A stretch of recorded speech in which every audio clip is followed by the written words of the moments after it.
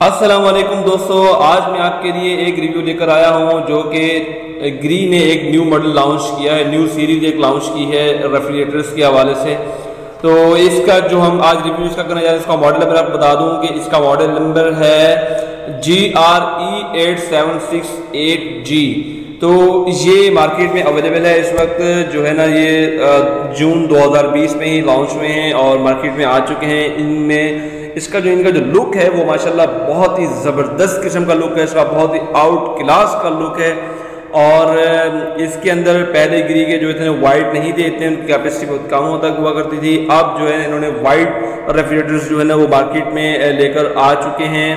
और ये जो नई सीरीज़ जो आई है, इसमें कुछ जो है ना, वो चंद चीज़ें ऐसी हैं जो कि यूनिक हैं दूसरी रेफ्रिजरेटर्स के अंदर नहीं पाई जाती हैं। माशाल्लाह बहुत ही ग्री जो है ना बहुत ही अच्छा काम कर रही है रिसर्च के ऊपर काम कर रही है और बड़े अच्छे प्रोडक्ट जो है ना वो लेके आ रही है और इन फ्यूचर्स भी प्लान कुछ है प्लान तो वो भी जिस तरह मॉडल्स आते जाएँगे तो मैं इसके रिव्यू बनाता जाऊँगा तो दोस्तों हम अगर ऊपर वाले जो फ्रीजिंग बॉक्स है, उसकी अगर हम बात करते हैं तो इसमें इसका जो डिज़ाइन आप देख लें साइड से कितना खूबसूरत डिज़ाइन है, बड़ा ज़बरदस्त किस्म का एक शेप दिया है।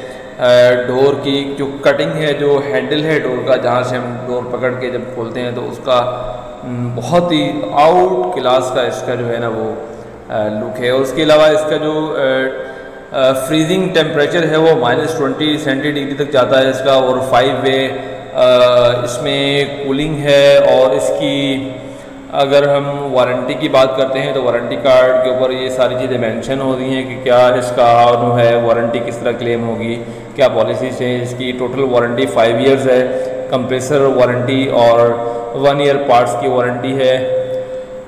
और इसकी हम बात कर लेते हैं कि एलईडी है ऊपर जो एलईडी लगा हुआ है, जो कि आम किसी भी फ्रिज के अंदर जो है ना वो आजकल नहीं आ रहा है। फ्रीजिंग बॉक्स में एलईडी नीचे वाले में होता है अक्सर। तो नीचे वाली खाने की अगर हम बात करें तो उसमें उसमें एक मेन चीज़ जो है ना वो टर्बो फ़ैन लगा हुआ है। टर्बो फ़ैन जो है ना वो एक्स्ट्रा आपको कूलिंग जो है ना प्रोवाइड करता है और अंदर जो सामान वगैरह रखा होता है वेजिटेबल्स या फ्रूट रखते हैं तो उसको रिफ़्रेश रखता है। और इसके अंदर अगर हम बात, ये वोल्ट लो वोल्टेज ऑपरेशन भी है। ये आप यानी कि तकरीबन कोई 140 100 यानी कि डेढ़ सौ तक वोल्टेज अगर हो तो आप बगैर स्टेबलाइज़र के जो है ना इसको आप चला सकते हैं। ये बहुत अच्छी चीज़ है और इसकी अगर हम अम्पेयर की बात करें तो ये एम्पेयर भी बहुत कम लेता है। आ, और उसके अलावा इसमें कॉपर की कंडेंसर है और अगर कंप्रेसर की हम बात करें तो यूरोपियन कंप्रेसर यूज़ करते हैं। गिरी वाले आर सिक्स हंड्रेड गैस जो है ना वो इसमें डलती है।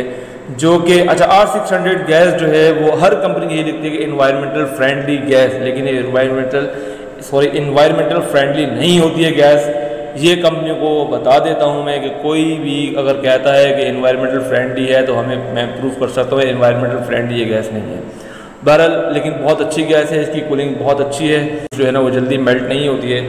ये आ, और उसके अलावा जो है इसके रैक्स भी बहुत अच्छे हैं बहुत ही अच्छा रेफ्रिजरेटर अगर आप पूछें मुझसे कि पाकिस्तान में हम अच्छा रेफ्रिजरेटर लेना चाहते हैं तो मैं आपको बिल्कुल ग्री ही रिकमेंड करूँगा।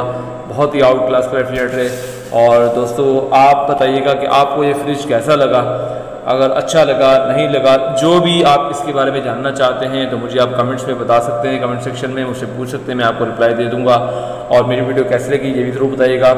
थैंक यू सो मच दोस्तों। अल्लाह हाफिज़।